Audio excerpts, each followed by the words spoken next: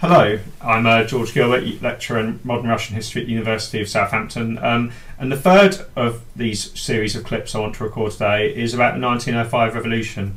So, I've said a little bit about some of the longer term changes occurring in the late imperial period. I've said a little bit about social and economic change, a bit about political opposition, both of which I think are really important to explain what's to come. But I do think 1905 needs its own short clip.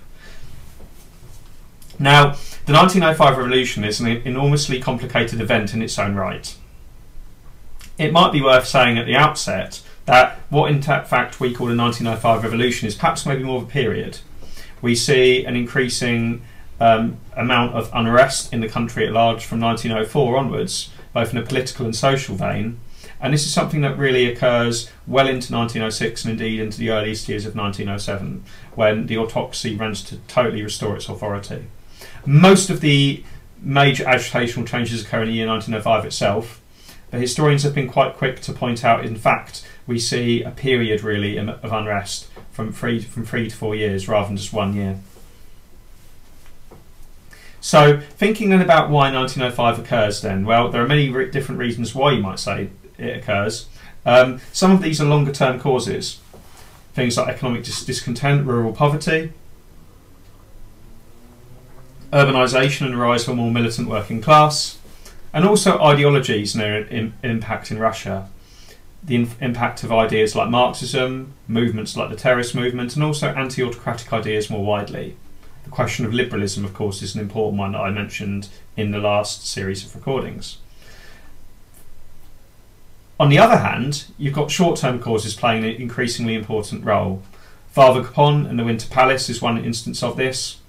Um, in January 1905, 19, 19, uh, January 1905, um, the marching on the Winter Palace by Father Gapon and loyal protesters um, is known as well. What occurs is known as Bloody Sunday. He delivers a manifesto uh, agitating for change, which you can see actually. It's been translated and is available on the internet. Um, with a series of workers' demands. Police and troops open fire. Um, in the massacre that follows, um, it's said that popular confidence in the Tsar is rocked. Um, this becomes known as Bloody Sunday, and it's an event that the revolutionary movement throughout 1905 refers to as a kind of progenitor, the most important event of that kind of particular era. It's a short-term trigger trigger factor. Occurring over the year, then we've got the Russo-Japanese War.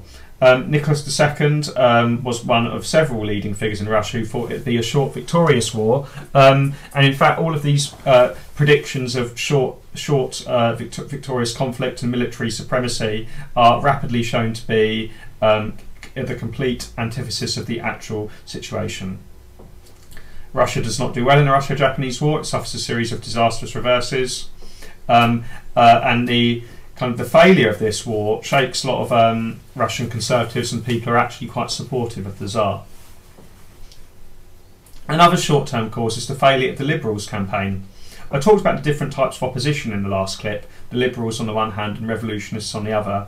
Well, the gradualist solution, you might say, what was seen in late, late 1904 with the Banquet campaign, was perhaps maybe not uh, making any inroads that some of its supporters wished it to and that leads some to maybe question perhaps maybe whether a more radical solution is needed to the problems of uh, Russian society and Russian life.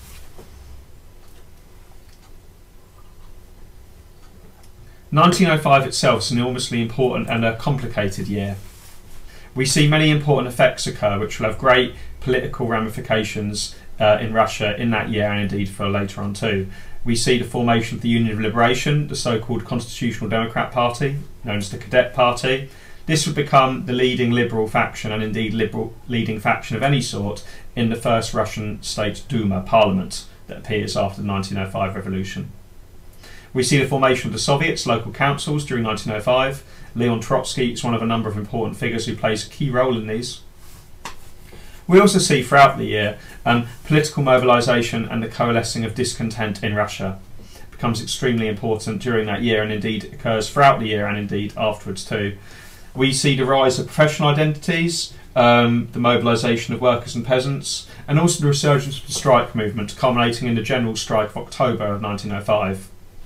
What's really important to realise about 1905 is it's actually a mass social revolution, and resistance and opposition comes not just from political classes in society, but indeed from society much more widely. It's an enormous movement for social change.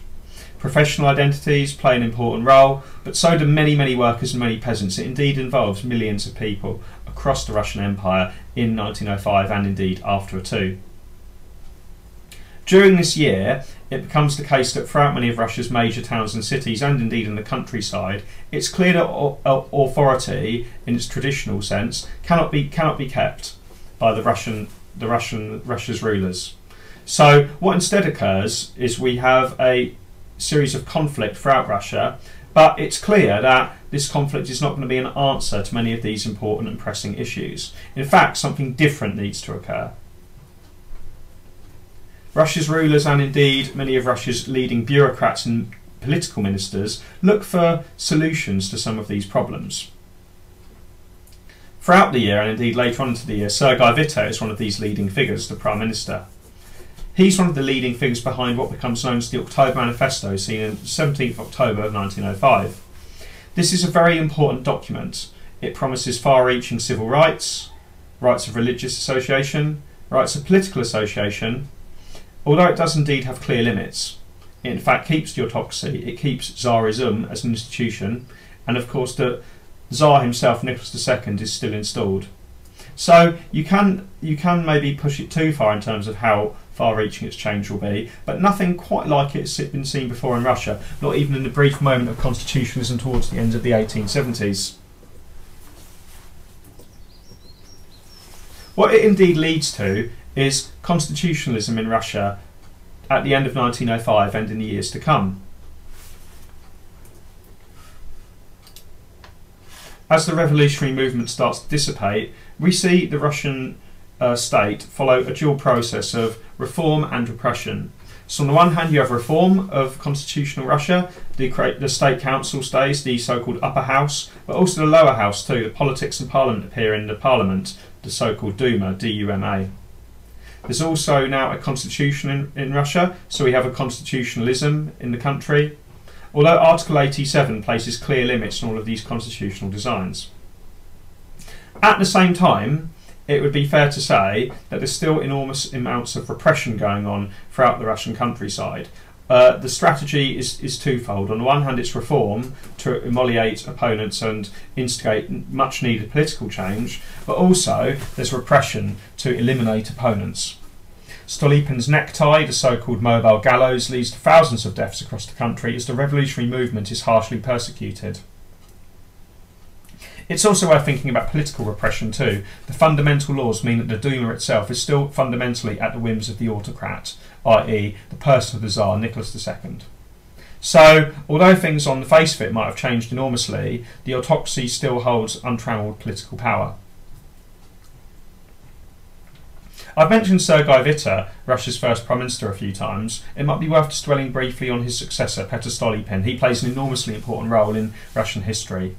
Um, has very far-reaching plans for agricultural change, the so-called Wager on the Strong, and the potential dissolution even of an important social unit in Russia, the peasant commune, the Mir. New electoral laws in 1907 attempt to create what he considers a more loyal Duma. The first and the second state Dumas are dissolved in 1906 and 1907 respectively. They're indeed full of Russia's Russian autocracy's political opponents. Liberals and indeed the soft left dominate these two houses. The third, the third Duma is created in the eyes of Petr Stolypin to be more, in his terms, Russian in spirit. Indeed, it's far more overall conservative and nationalist when you look at the political party deputies that dominate the third and indeed fourth Dumas. The Constitutional Democrats, the Duma, the Cadets, they played a very important role in the first and second Dumas, and indeed they do in the third and the fourth too, but the overall dominance of the House is gradually sidelined because of these changes made by Russia's rulers. So 1905 led to enormous change. It was a moment of great social protest, a moment of great uprising, and what it leads to is a kind of a, a constitutional settlement in Russia, but an uneasy balance between, on the one hand, the liberal opposition of Russia, and indeed the conservatives who still control many of Russia's leading ministries. The revolutionary movement has been temporarily sidelined, but of course it will play an enormously important role in years to come. And indeed, many of these questions of political rights, these questions of social change have not gone away. Indeed, they'll play an enormously important role in Russia in the years leading up to the First World War and indeed in the war years itself.